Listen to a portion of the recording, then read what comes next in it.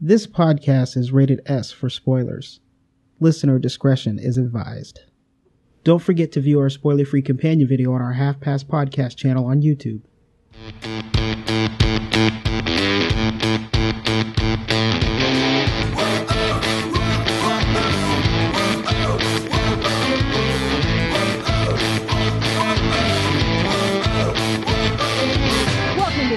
Past Podcast. This is episode 50, the movie review of Ben Hur. We will also be discussing the Magnificent Seven trailer. I'm Graham Ricks, and here with me is my friend and co pilot, Ian Jones. Episode five oh. Five zero, man. Wow. Did you think we'd get this far? I feel like some people owe us money. I feel like there are some bets that maybe we should be cashing in on, but I didn't keep a list. I know, right? So, it's it's so great, man. I mean, it it it feels good to know that we're hitting 50 episodes. It's amazing how long it's been. It's just so crazy. and, and like every time I think Um. about it, like I've been geeking out about it for a while now because like we decided to postpone it, you know, because we were Right, gonna do Pete's Dragon. And we like postponed it to get this one done, and we still don't have any special celebration thing. But. That's not really how we roll anyway. But the thing is, it's like it's just such a great it's just a great feeling to know that you hit the big five zero. It's, It it's awesome. Especially when you think about like the amount of time oh too. yeah, like, there's a know, lot of time. it- right. It's just you know it's that's well over a year's worth of watching movies, and Yes. it's it's actually been more than that, really, if you think about yeah, some of the ones that didn't end up going because Yes. we were just like, no, yep. There's definitely some in there where we've like. There's even like a, I think there's a couple episodes that I'm sure we recorded and never released. yeah, so Right. it's it's been fun. It's been a fun fifty episodes, and I hope we can get fifty more. And then let's just blow this popsicle stand. ooh, I like that idea. Hmm, oh, that's great. let's blow this popsicle stand. Anyway, Hmm, after we got our little celebration thing done, the trailer for this week is Magnificent Seven, and so I am actually the well. The first thing I want to say is the thing that's funny about this movie is it is a it's a remake of the old west style version of Seven Samurai that Akira Kurosawa did back in like the 50s. And then you had the Magnificent Seven that was in like the 60s. And so I actually like both versions of those movies. And so I'm really excited about seeing this one also. But the thing that sets this one apart is because it's a modern, like, take on this, you know what I mean? So it's like, it's got that new school feel to it because it looks like it's just going to be a ton of fun, right? right, yeah, but Because the other hmm. ones, like Seven Samurai and Magnificent Seven, are very serious movies. I But this one just looks like a ton of fun. I think that might just be because of Chris Pratt. yes, we'll- we'll exactly, though, right? because the actual movie may not be a ton of fun. well, that's we'll have to You see know, what it happens. Could be just really serious. and- It, could be, but I think that I personally think that Chris Pratt's really good at doing, even though serious stuff is happening. Him being able, like, he just has the charm that kind of like tones everything back down and brings it Right. back to earth. And so I think it's really good that that he's in it and that they've chosen him. And I'm just excited about the. Uh, the director too, because Antoine Fuqua, I always like him also. I know there's a lot of people didn't like King Arthur, but Mm. he did that one and he did Training Day and he also did The Equalizer, which is why he's using Denzel Washington. He works with him a lot. But the thing that I think that's really good about this movie is the cast. Like I thought the cast was like a really good selection. Other than I know you can't stand Peter Sarsgaard, right? No, I can't. Is that that's the bad guy, right? I think so. I think he's Mm, going to be. the We've had this discussion about him before. Like, Yes. he like he and Edward Norton are consistently miscast in movies because they're like miscast as tough guys, and you can't have a tough guy with a lisp unless he's Samuel L. Jackson. But like the movie has to be in on the joke. Yes. You know, like in like in Kingsman, but like everyone takes him seriously, yeah. and he's like super effeminate. And I'm not saying that there's anything wrong with that. It's just they it's just that they the treat him like he like he isn't. Yes, like the you know? characters they have in play are not really effeminate type characters. right? Yeah. Which, It's- to be honest, I think I think he's effective enough to where he could be like a bad guy, and if he's just an effeminate bad guy, then who cares, right? Like I think Okay, he has the traits but- where he could do. but they don't that. really ever do it like that. No, they don't Like cast him like it that way. isn't like it isn't ever written that way. No, it's not. So, like, I totally think he could do a role like that if he wanted to easily. If they, if you know, that's again, that's kind of writing a role for an actor. If you really want Peter Sarsgaard that bad in your movie, then you could do that if you want. But I mean, come on, you got Denzel Washington, you got Chris Pratt. Vincent D'Onofrio, and then you got that, that Korean dude. What's his name? Lee Lee Byung Kim, I believe is his It name. just seems like any one of those guys should be enough to take on Peter. So. like you shouldn't need seven of them to deal with one guy on a horse. No, that might, that's that's oversimplifying things, and I know that Yes. you know that's basic. You know, maybe he is just a giant weasel in this movie, and I hope so because he's got the face for it. Oh wow. He's not quite like Christian Slater, like not like you know this guy's definitely a rat, and don't ever pull a job with him because he's you know he's gonna sell you out to the FBI. like like it's not Yeah. quite that face, but it's it's close. It's, Yeah. It's, it's this is gonna be the guy they talk to first, and we're all gonna do 15 years in federal prison. oh, that's great, man. Do you got anything else you want to say about this Magnificent Seven movie? no, I I do really want to see it. So I, I hope so. I, I'm excited about it because, I, like I said, I, I saw the other ones, and this one's a different take. It's definitely similar. The story seems similar, but it's a different take on it. So it's interesting. We'll see how well it does and see if it can keep everything going because the other two are actually pretty good, especially the original. If you watch that one by Akira Kurosawa, it's really, really well done. That's one of those Criterion type movies, so it's like super well done, but it is a very old movie.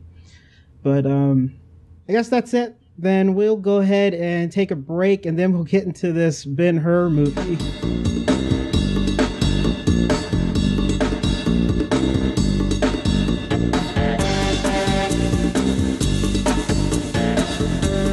The epic story of Judah ben Hur, a prince falsely accused of treason by his adopted brother, an officer in the Roman army. After years at sea, Judah returns to his homeland to seek revenge, but finds redemption.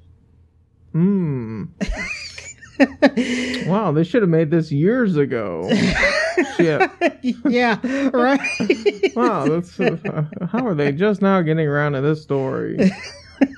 this movie's directed by Timur. Okay, Beck Beckman Bedov. Beckman Bedov. I'm gonna have really fun with the with the names on this one. Hmm, yeah. but he also directed Wanted and Abraham Lincoln Vampire Hunter, which is just such a weird set of movies that he, this guy has done. Hmm. It's kind of strange.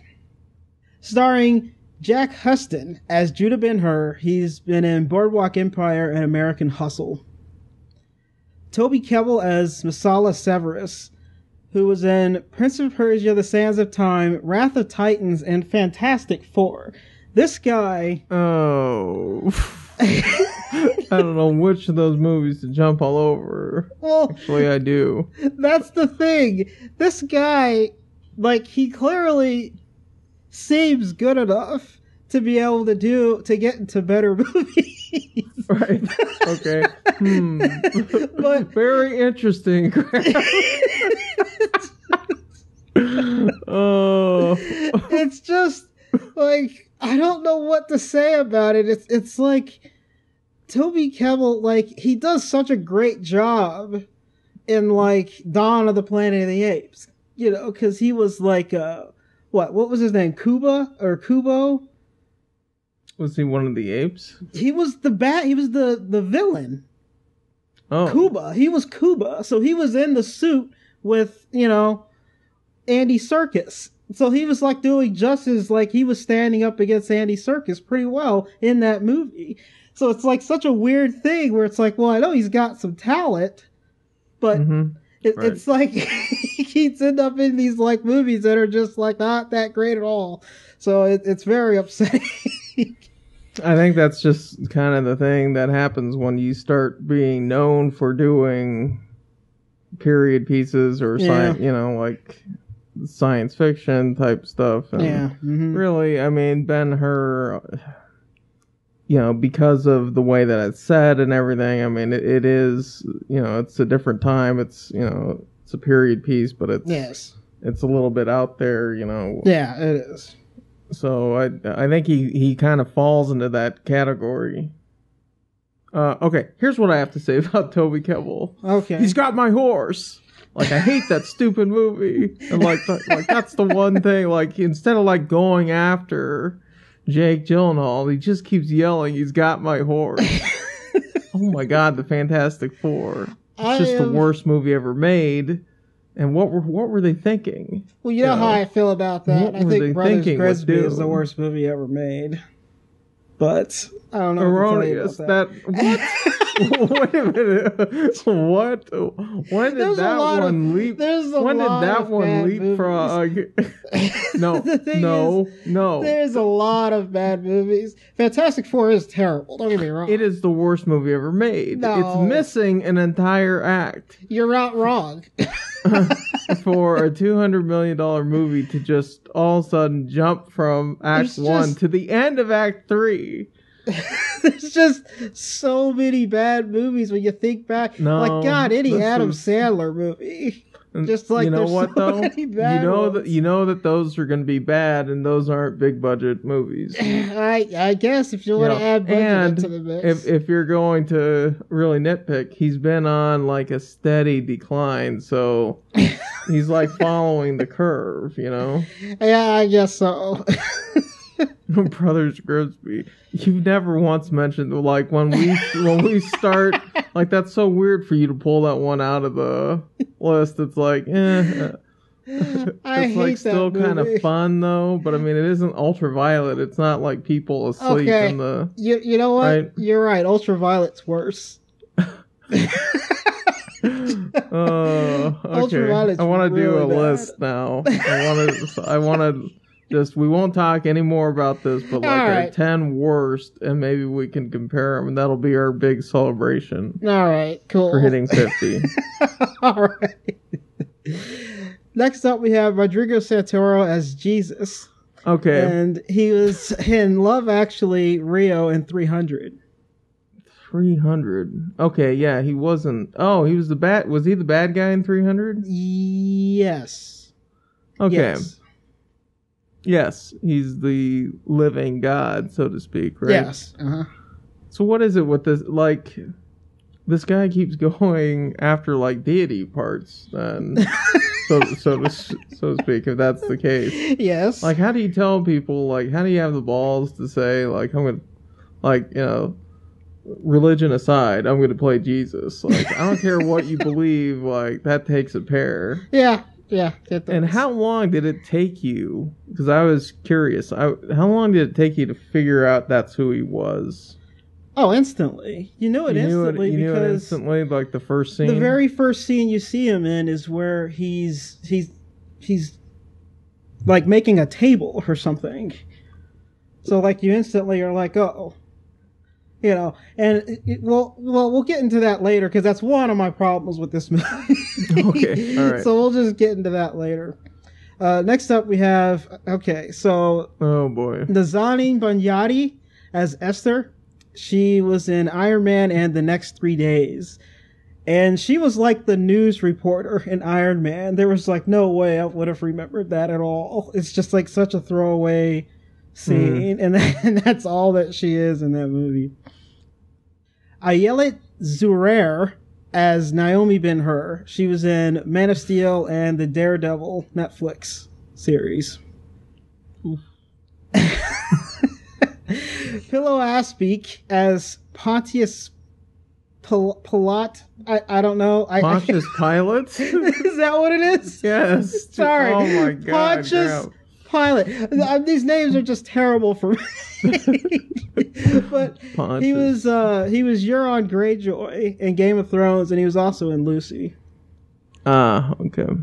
Sofia Black-D'Elia as Tirzah Ben Hur. She was in uh, All My Children's Skins and Gossip Girl. The last one we have here is Morgan Freeman as Ilderim, who was in Shawshank, Shawshank Redemption, Deep Impact, and Million Dollar Baby, who has just been in so much stuff. So everybody nice. knows who Morgan Freeman is. It's nice to see a familiar voice. Or Nice, face, right? whatever. Like I was wondering why familiar face and hear Right. a familiar voice. Right. Yeah, I was wondering why they like. I guess I didn't realize he was in it. Like I knew that and I forgot, but Yeah. it started off with him narrating the movie, and I was like, "Well, that's kind of Yes. weird." But then he's in it, so I was like, "Well, all right." Usually, when he does the narration, he's definitely not in the movie. Mm. He's done so Yeah. many narr- narration roles. It's pretty crazy. But it's because you want to take his voice and make a cloud of it and sleep in it. Yes, you do. You want to bathe in it, or yeah, fold it up into a sleeping bag, and sleep Yeah. under the stars. While he tells you about the Higgs boson exactly. in a way that isn't confusing, but it is because it's the Higgs boson. Yeah. All right, Charles, let's go ahead and take our second break here, and then we'll go ahead and get into the nitty gritty of this Ben Hur movie. All right.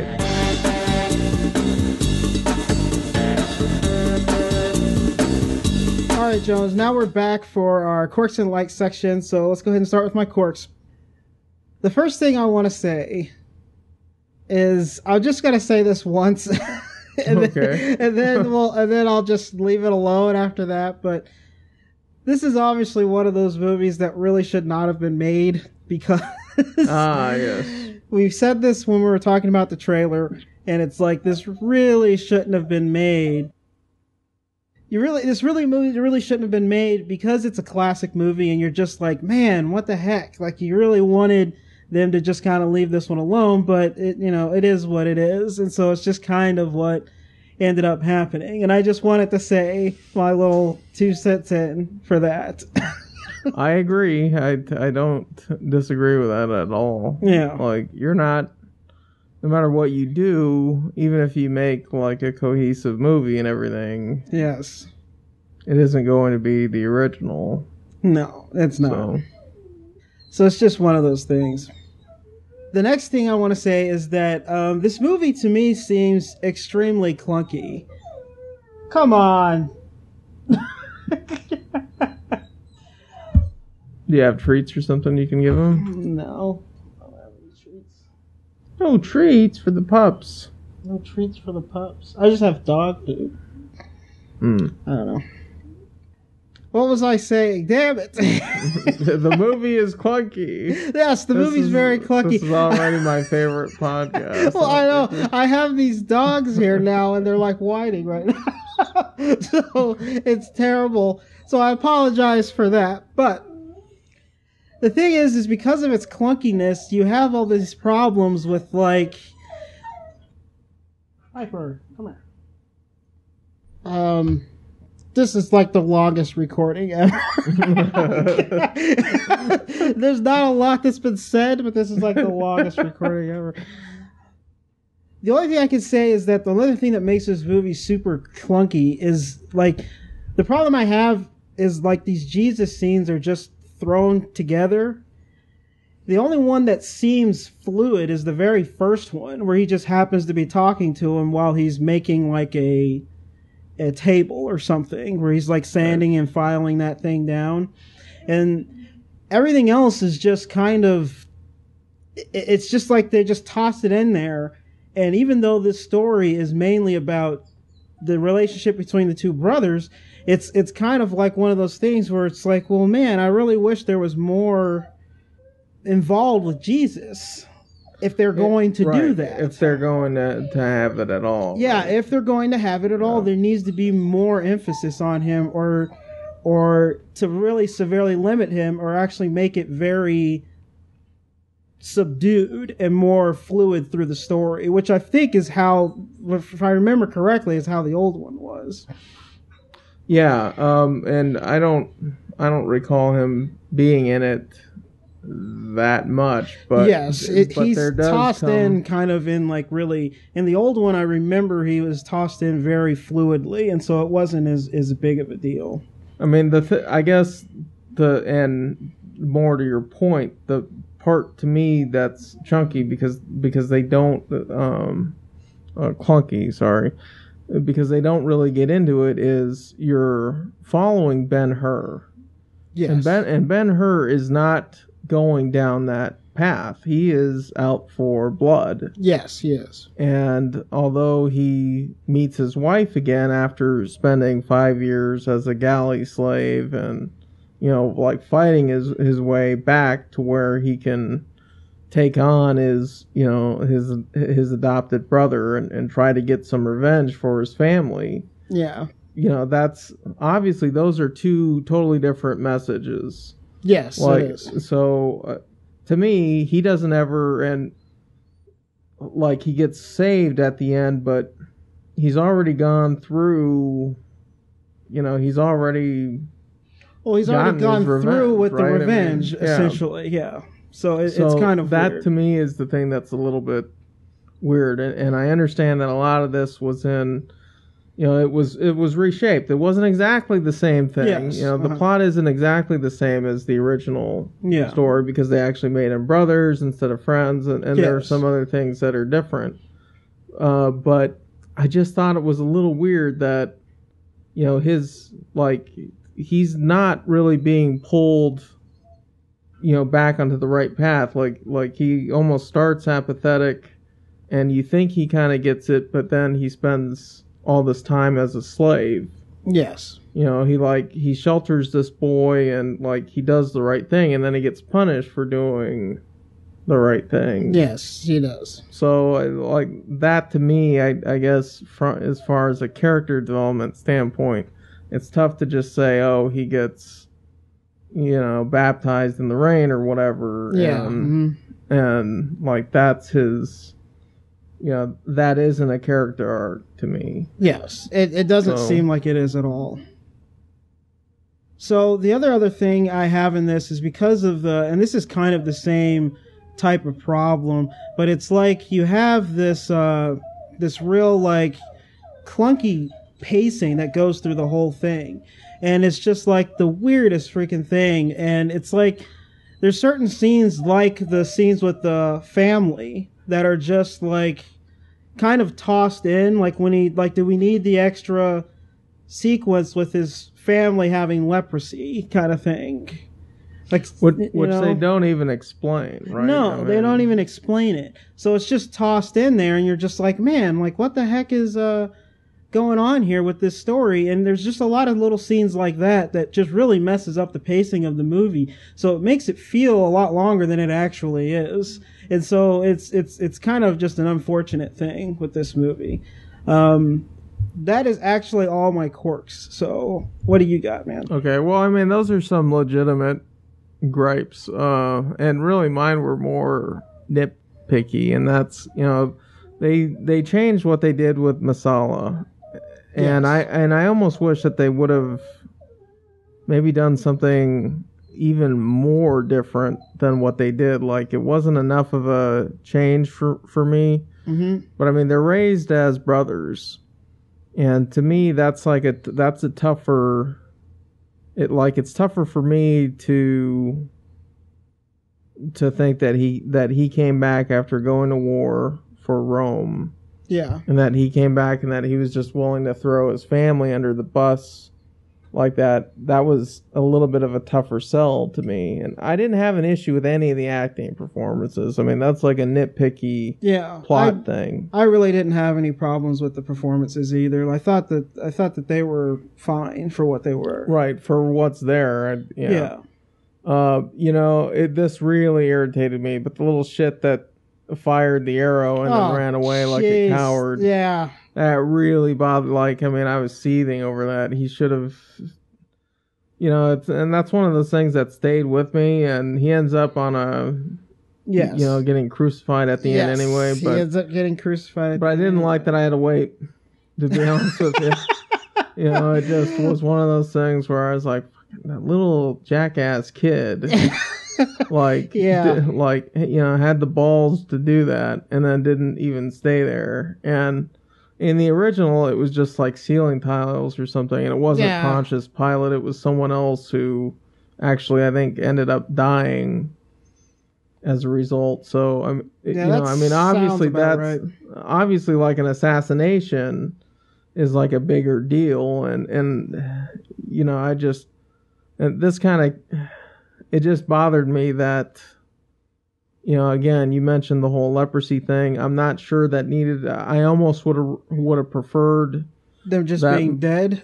them just being dead or Right? Messala doing something else entirely different with them Yeah, right. and, and like here's where it gets really clunky you have to remember that there's this other character yes. who Ben Hur screws over, and so he gets like demoted and gets casted out because he gets taken hostage. Yes. hmm And you know, then he for some reason like after that ended up taking care of the family like Yes. hmm by like to me that doesn't make any s- sense Yeah, at it- all because he doesn't doesn't have any any sense. motivation to do any of those things. No, he doesn't. So, and then, um, and this is this is a real big one for me. Listening to that damn same drum for five years as a galley slave, like, damn. Yeah, that would be the most annoying thing. Like I, and I feel like those guys are like you have to feed them enough so that they keep going. yes. So they're in incredible shape and they aren't chained up all the time. It just seems to me like during one of these battles they could all just freaking escape. Yeah. You know, but five years, oh man. That's it's just such a long time. Right, and it was longer even from the original. You know, Yeah. he wasn't, and he and he actually earned his his freedom, and in this one he sort of just escapes. yes. Yeah. So you know that's it for me as as far as quirks. Okay. Well, Yeah. I got um I have like a couple likes. Okay. So let's go ahead and go to those. The thing that's funny is the thing that's probably exciting about this movie is the uh probably to me was the like the two major scenes which was like the galley scene where they I thought that was just an exciting scene that was just Yeah. Mm-hmm. great and entertaining. And I really enjoyed it. The only problem is is that like that act almost like stops the movie dead. And then and then it like ramps back up during that sequence, but that's just such a great sequence with the galley. I really enjoyed all of that. You know, imagine had they had they kicked the movie off with that scene instead. I know, right? I think know. that would have made it a totally different movie at that point in time. You're right. And maybe we would have got more of more of like a a development part to it cuz then we could have done we started with that and then kind of went back and then got and then caught back up to that time period, which is what they did anyway.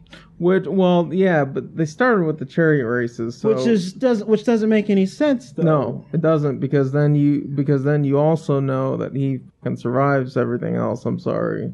Yeah. don't- you don't get that now. well, thanks for that, just let Bob. it, just let it go. Just, just let it go. This one will be mature. oh man. Uh, but you know, so you know he survives till everything. So I actually hate when movies start it that way. If you're gonna start it that way, start it with know, a bang. yeah, it needs to be with a with a bang and not with like a weird scene where like, wait a minute, is this the end here or something in the middle? And then Yeah. and then when you look back on it, you're like, well, so he survives everything else. You Yeah. Know? So sorry, did you have any other likes or? Um, the only other like I had was, uh, like I said, it's like the little vignettes were the best scenes, and the galley scene was a really good sequence, and I like the chariot scene too. They actually made the chariot yeah, scene the- super exciting. the chariots were really well done. In fact, there was only one issue I had, and that was one the they had this horse jump into the audience. Oh, But that was a terrible scene. Everything else was just incredible. It was. They filmed it in a really cool way. yes. They really thought everything through when it came to these chariot scenes. yes, they did. And you know, I've never really, you know, in you know, they didn't have the technology really to do what they did in the original Ben Hur. Yeah. But I've never really seen a scene like uh, you know that scene was so well filmed It was. and well thought out that it just you know and it should be because Yeah. like that's the thing that kind of pushed Yes. that the, the original over the top that get you know academy awards and stuff like that's kind of a part of it because of so much time and energy they put into those chariot scenes that's really the shiny example and why it makes it such a classic movie that's done so well and that's that's like and so this one them putting that time in it on this one i thought was good and i think that helps the movie a lot and yeah, uh, and it isn't just green screen hell for the most part either. I mean, No. they just they really did a fantastic job with those scenes. Yeah. man, really good. yeah and those are my only likes You know, I thought the acting was really solid in this movie. I I, was. I thought the movie as a whole. Now you're right about the the pacing and some stuff being out of whack. yeah Uh, you know, I thought the movie as a whole, if it wasn't Ben Hur, if it was something else, probably would have been just fine. yes So it, it's weird for me because it seems like, you know, this particular filmmaker put all this care into it, but it was like, oh, it was for, it was almost for not, you know, because yes there's no way it's ever going to be that. It isn't going to be the same thing. No, and I know that, that that's what we, we keep coming back to. yeah which i was just like, trying to avoid but you know, it, it's hard couldn't you have done the same thing with with something similar or or just like totally you know yeah like a different idea to, like a different story uh, you know just like in the same setting I would You know, definitely a think you could do piece. something so that it's not actually Ben-Hur. I think it, it would have gotten some more love out of, out of the movie. speaking of which check out this awesome ben hur lens flare i have I know you got a nice lens flare going on in your camera there. something just fell great oh man. Uh, all right. Um, yeah. So I I thought the acting and the uh, the chariot races, and, and I think that's it for me, buddy. Okay, so we're kind of on the same page here then. So I guess um I guess we'll go ahead and rate this thing. So I, I think there's some sequences to this movie and because it's kind of clunky and it almost seems like there's just all these little vignettes instead of a fluid cohesive movie, it almost seems like a school play version of the original. Right? Hmm, but that's It's- mean, but not inaccurate. but it's not in like it's not like it's in a bad acted way or bad special effects or visual you know or bad costume or bad sets kind of way I mean, it's just you know, the money was was spent. They Yes. they spent all their money they spent to their money make the movie. yes so with all that said I, I the only thing i can say is because of the existence of the original i would just say you know what i'm gonna go ahead and give it a rent it i'm gonna say rent it Yeah. Uh, you know, I thought, I, you know, I actually liked the movie, and my complaints were not anywhere near as, you know, they just didn't have the same foundation that yours did. yeah And once I heard it, okay, I, yeah, I I agree with what you're saying, but I am gonna give it a rent it because I actually didn't hate this movie, and I thought I was going to. It's so it is not that bad of a movie. it It's- is it is better than an eleven million dollar opening for sure. yes, yes, for sure it's better than that. Yeah, it, it doesn't it deserve that. I think a lot of that has to do with the anger towards them doing the movie in general because Correct. it's Ben-Hur. And I think even the critics are hating on the movie that much because of that reason. It's like they're being ultra harsh with it because of the the original like classic, you know, Charlton Heston. it's an or- it's an original. It's a religious movie. It's going to be tough Yeah. to, you know, it, it's just that's going to be tough. Yeah, it's a tough It really sequence. is.